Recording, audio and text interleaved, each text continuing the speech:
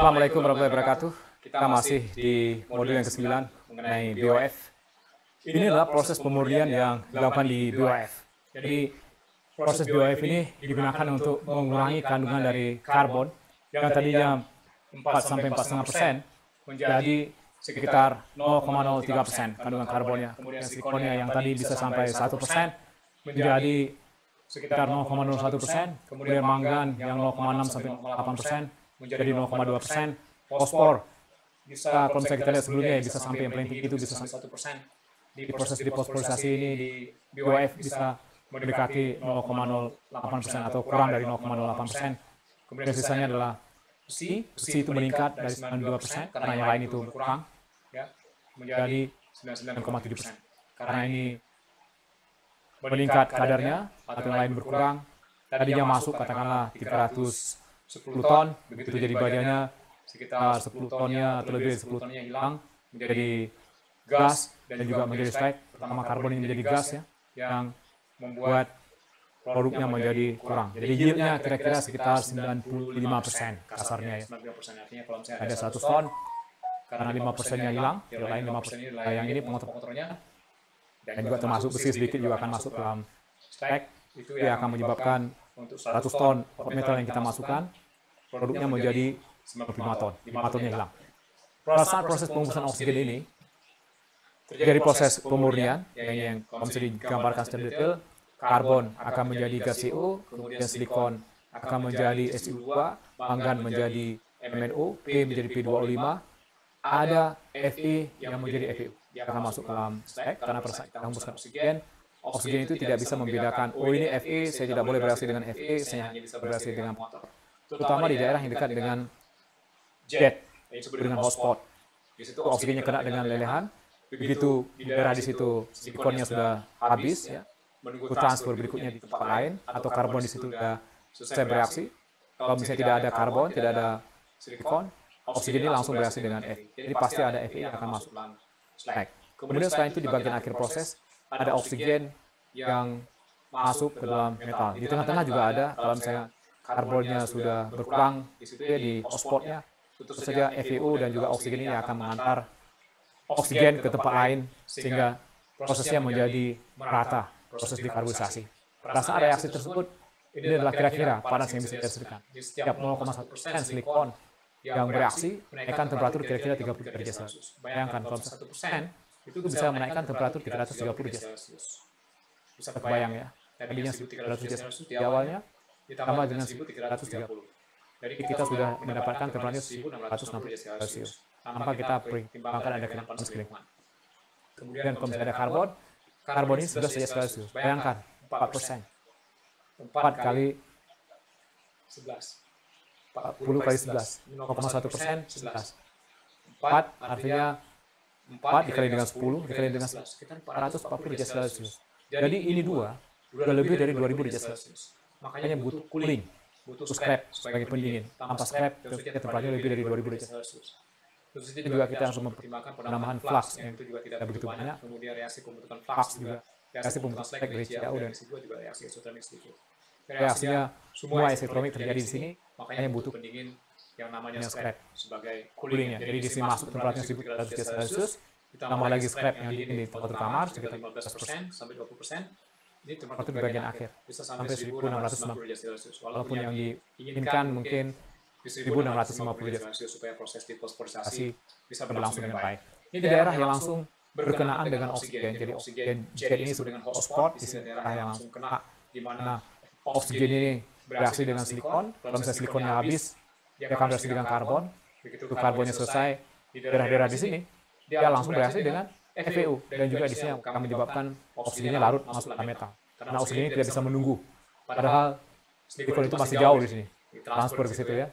Karena perpindahan massa dan juga karbon yang berikutnya kalau misalnya silikonnya habis, sekarang karbon yang bereaksi untuk CO. Kalau misalnya karbonnya itu masih jauh, tentu saja FeO yang akan masuk dalam slag. Jadi FeO ini juga punya sisi positif. FeO ini dan juga oksigen ini yang akan mengantarkan oksigen ke tempat lain. Jadi FeO ini memberikan oksigen ke tempat lain sehingga di situ silikon bisa bereaksi dengan oksigen menjadi SiO2 kemudian FeO Fe-nya kembali lagi menjadi metalnya. Itu terjadi di bagian yang jauh dari oksigen lens ini, dari hotspot, jadi daerah yang langsung kena dengan oksigennya di daerah di sini. Jadi seperti ini reaksinya di dalam BOF dan reaksi itu berlangsung sangat cepat. Kemudian kalau misalkan silikonnya sudah mau habis, ini ada MN, MNO juga bisa bereaksi dengan silikon membentuk eh, MN dan juga SiO2. Kemudian karbon juga bisa bereaksi dengan FeO ini membentuk CO di tempat yang lain. Jadi itu fungsi dari FeO yang sebelumnya terbentuk di daerah di sini ya, di daerah sini terbentuk FeO, kemudian FeO ini akan ditransfer ke daerah yang lain yang kemudian untuk mempercepat proses pemurnian dalam di converter dalam BOF ini. Kemudian dia juga bisa mengikat fosfor, jadi fosfor akan teroksidasi menjadi P2O5 ditambahkan CaO, CaO itu akan mengikat P2O5. Ini juga fungsi dari FeO yang terdapat dalam proses di pengusahaan oksigen di BOF. Jadi di pengusahaan oksigen, daerah yang kena dengan oksigen, kalau misalnya ada silikon, dia akan bereaksi dengan silikon. Kenapa silikon? Kita lihat kembali ke diagram kami ini. Garis silikon itu ada paling bawah, jadi Si ditambah dengan U2 masukkan SiO2. Kemudian inilah garis karbonnya bergantung pada temperatur. Misalnya temperaturnya tinggi, baru karbonnya itu bisa bereaksi. Misalnya temperatur rendah, biasanya silikon dulu yang bereaksi membentuk SiO2. Setelah itu baru temperatur tinggi, karbon bereaksi. Atau setelah silikonnya habis, temperaturnya juga udah tinggi, di situ baru karbonnya bereaksi. Manggan juga bisa bereaksi setelah silikonnya habis. Kemudian setelah itu besi itu karena begitu ini tidak ada, karbon tidak ada, kemudian silikon tidak ada, mangga juga tidak ada di sekitar hotspot atau tempat di mana oksigen itu langsung kena dengan metalnya, Fe-nya akan teroksidasi. Tapi Fe ini akan membawa oksigen ke tempat yang lain.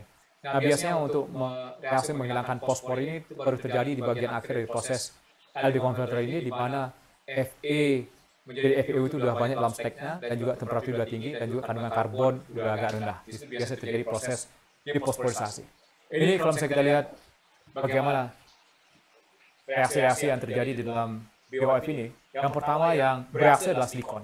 Silikon ini akan langsung bereaksi dengan oksigen membentuk SiO2. Sesuai dengan diagram miligram yang baru kita lihat di sini. Silikon itu garisnya paling bawah, itu akan bereaksi terlebih dahulu. Silikon yang paling bawah ini dia akan bereaksi terlebih dahulu menjadi SiO2. Setelah itu kalau misalnya kita lihat di sini, kembali lagi ke sini, begitu silikonnya sudah habis, baru karbonnya itu turun. Karbonnya turun tapi pelan-pelan. Begitu dalam, itu cepat di sini. Setelah itu baru dia akan turun dengan cepat.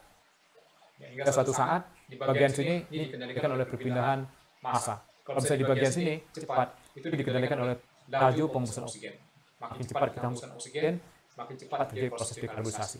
Nah, di bagian bawah di sini karena kandungan dari karbon itu sudah rendah, tidak sampai. Kalau misalnya kita lihat tidak sampai lagi ke ke sini ya. Jadi di sini udah selesai nih, karbonnya udah selesai, jadi dia menunggu karbon di tempat lain masuk ke situ. Juga sama, kalau misalnya karbonnya di sini udah habis, dia menunggu karbon di tempat lain. Jadi dikendalikan oleh perpindahan massa. Ini seperti ini. Proses reaksi, karbonnya sudah rendah. Jadi bagian akhir proses dikendalikan oleh perpindahan massa. Jadi di sini diambil di sekitar 0,04 persen karbon. Di sekitar sini karbonnya udah kecil 0,04 persen. Di situ dikendalikan oleh perpindahan massa. Ini harus diberikan waktu sehingga proses dekarbonisasi ini. Tapi secara umum juga masih cepat proses dekarbonisasi di dalam BOF ini. Manggan, pertama dia turun sedikit, kemudian dia naik lagi, kemudian dia turun. Jadi tidak begitu banyak perubahan di manggan, di bagian akhir kandungan manggan itu sekitar 0,1 persen ya, kalau kita lihat, atau 0,2 persen, itu maksimum. Kira-kira kandungan karbon di dalam, kandungan manggan di dalam metal ini. Kemudian fosfor, turun, kemudian naik sedikit karena kalorinya tinggi. Setelah itu dia akan turun di bagian akhir proses. Begitu Fe-nya tinggi, kemudian tambahkan CaO, dan juga F EO dalam speknya sudah tinggi, kemudian aktivitas oksigen di dalam metalnya juga sudah tinggi. Di situ baru kita bisa menghilangkan fosfor dan akhir proses BOF ini. Sulfur hilang, tapi sedikit sekali hanya sekitar 5% dari sulfur ini akan masuk ke dalam slag atau juga membentuk gas. Kemudian kalau misalnya kita lihat dari slagnya, slagnya itu FeU sudah terbentuk di bagian awal. Jadi FeU sudah terbentuk di bagian awal. Kemudian kenapa ini FeU-nya turun? Tidak lain karena CaO-nya larut. Jadi awalnya sudah tambah jauh, tapi CaO masih dalam fase padat, tidak dipertimbangkan di sini. Kemudian ini CaO-nya larut menjadi fase leleh. Slag itu dia akan menurunkan kadar dari FIU ini. Dan di bagian akhir proses, begitu karbonnya udah rendah, ini FIU-nya akan meningkat lagi dalam slack-nya. Nggak bisa dihindari, tetapi begitu kita menggunakan OBN, rendah dibandingkan dengan menggunakan LD converter. Nah, SIU2 ini di bagian akhir kecil, jauh juga ditambahkan, sehingga basisitasnya itu berkisar antara 2,5 sampai 4, 4,0. Biasanya kalau misalnya proses di postpolarisasi yang baik, CAU di bagian SIU2 itu di bagian akhir proses itu mendekati 4, sekitar 3,9 atau 3,8. Itu yang di set ditambahkan CAU untuk mengatur slack-nya yang bisa digunakan untuk proses dari uh, depospolarisasi. Kemudian di sini MGO yang digunakan untuk mengatur komposisi stack terutama untuk mencegah adanya refactory yang aus dari NGU ini ditambahkan supaya refactory menjadi awet. Ya, supaya dia jenuh dalam stacknya sehingga refactory yang terbuat dari NGU ini tidak akan atau sedikit yang masuk menjadi slacknya. Ini dari MU dari pengotor yang tadi dari MN dari metalnya ya. ya. Sekali lagi ini tambahkan CAU supaya fluxnya dan juga ditambahkan infus fluxnya. Ini dari metal itu sendiri dan juga SiU2 dari metal masuk juga dari metal yang nggak bisa dihindari dia akan masuk ke dalam stack. Makanya yieldnya itu ya sekitar 95 persen atau 94 persen, masih di atas 93 persen. Jumlah FU yang teroksidasi juga sedikit. Kemudian ini dilihat pengaruh dari oksigen blowing rate terhadap dekarbonisasi. Jadi makin besar kita hembuskan oksigennya, proses dekarbonisasi itu akan berlangsung dengan cepat. Biasanya range ini kan untuk BOF ini di antara 2,2 sampai 3,3 meter kubik, normal meter kubik per menit per ton dari hot metal yang akan dimurnikan. Tinggal dikalikan saja. Misalkan hot metalnya adalah 100 ton, berarti 2,2 kali 100, 220 meter kubik per menit. Per jamnya tinggal dikali 60. Kita bisa mendapatkan per jam. Jadi makin besar lajunya, makin tinggi. Ini sekitar 3,3 maksimum, kadang-kadang bisa sampai 3,5 beberapa lokasi mempercepat proses dekarbonisasi.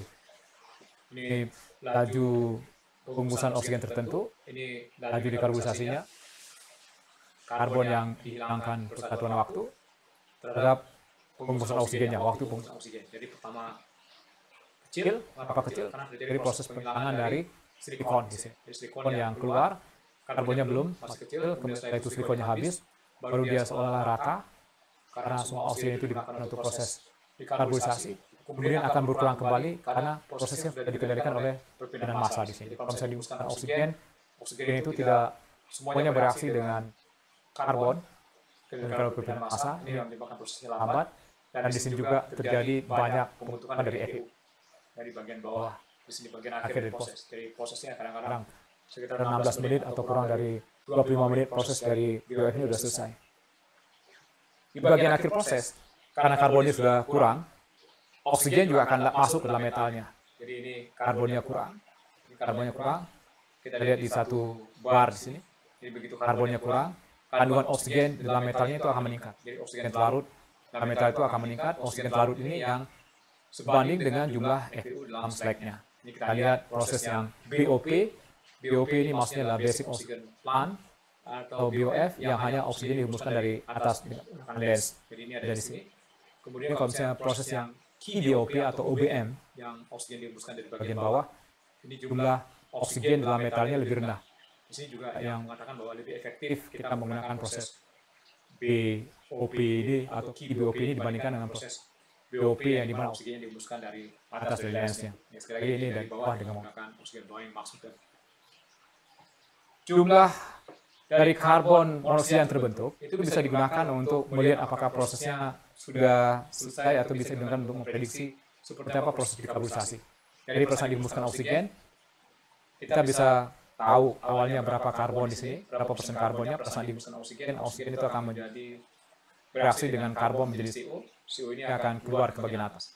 Kalau misalnya kita punya data dari gas buang ya, kita ambil yang pertama adalah berapa volume dari gas buang yang keluar ini persatuan waktu, kemudian kita tahu komposisi dari gas buang ini, tentu saja kita bisa menghitung berapa banyak karbon yang keluar menjadi fasa gas.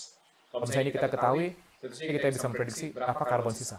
Di sini juga kita bisa tahu berapa banyak karbon yang keluar persatuan waktu. Bisa menghitung dekarbonisasi dan juga kita bisa mendapatkan kurva seperti dekarbonisasi. dan juga kita bisa memperkirakan seperti apa kandungan karbon dalam metalnya. Ini salah satu uh, teknologi yang dikembangkan oleh Siemens VI untuk mengetahui apakah proses dekarbonisasi sudah selesai atau belum. Sebenarnya teknik ini bukan teknik yang baru, karena sudah digunakan di zaman dahulu waktu proses Bessemer, mereka melihat flame atau lidah api di sini. Karena proses yang sekarang ini kan kita tidak bisa lagi melihat flame-nya seperti apa ya. Dan juga lebih teliti karena kita bisa mengukur tidak hanya flame-nya yang kita ukur, tetapi kita bisa tahu berapa karbon yang keluar di sini. Jadi sekarang ini prosesnya lebih bagus, lebih baik sekali kalau misalnya kita bisa kombinasikan dari komposisinya dari gas buang ini untuk dijadikan sebagai proses kontrol di bagian atas ini. Kemudian karbon dengan oksigen kesetimbangannya yang sudah disampaikan. Jadi ini BOP, ini kalau misalnya ada ada pengaruh di bagian bawah, dia akan menjadi seperti bawah digeser seperti ini. Jadi ini karbonnya berkurang, kandungan oksigen akan naik dalam metalnya. Kemudian kalau misalnya kita di dalam slagnya, begitu karbonnya berkurang, juga EPU dalam slagnya meningkat. Ini akan menyebabkan kenapa kandungan EPU dalam slagnya bisa sampai 30%. Makanya sangat penting sekali kalau misalnya kita membuat bajunya adalah high carbon. Tidak perlu karbonnya dikurangi sampai kecil seperti ini. Jadi untuk menghilangkan fosfor ya. Tapi kalau misalnya bukan untuk menghilangkan fosfor, artinya di 0,6 persen sudah cukup. Di situ kita bisa masukkan EPU yang yang kecil dalam slagnya. Dengan kata lain, yield dari FE itu akan meningkat. Tidak banyak FE yang terbuang masuk dalam slag. Dan setelah itu juga kita tidak perlu menambahkan alloy dari karbon lagi. Kalau misalnya kita kurangi sampai rendah, kemudian tambahkan karbon banyak, ya artinya kita dua kali kerugian. Yang pertama, FE-nya banyak masuk dalam slag. Yang kedua, kita butuh biaya untuk menambahkan karbon kembali. Ini proses kita menggunakan bottom steering dengan menggunakan yang tadinya BOP menjadi LBOP di tengah-tengahnya. Kalau misalnya KBOP itu benar-benar dengan menggunakan oksigen bottom point. Jadi ada di ya Dengan cara demikian kita bisa menurunkan kadar FeO dalam slagnya atau dengan kata lain kita bisa membuat yield dari FeO ini meningkat pada proses pembuatan oksigen. Ya, itu mengenai penjelasan reaksi-reaksi yang terjadi di BOF. Anda juga harus paham kembali kenapa butuh cooling scrap, karena reaksinya semua isotermik. Reaksi kita udah lihat tadi, kalau misalnya silikon 0,1% menghasilkan panas itu sekitar 33 derajat Celcius naik temperaturnya, karbon itu sekitar 11 derajat Celcius naik temperaturnya, besi itu sekitar 5 derajat Celcius kalau tidak salah naik temperaturnya. Jadi semua reaksi-reaksi isotermik kita harus menambahkan cooling scrap di bagian awal untuk menjaga supaya temperatur di bagian akhir dari kalkulator ini tidak lebih dari 1700 derajat Celcius. Ya, 1710 derajat Celcius itu maksimum. Sekarang ini dipertahankan sekitar 1650 derajat Celcius atau 1660 derajat Celcius supaya refraktornya juga menjadi lebih awet. Mudah-mudahan bermanfaat. Assalamualaikum warahmatullahi wabarakatuh.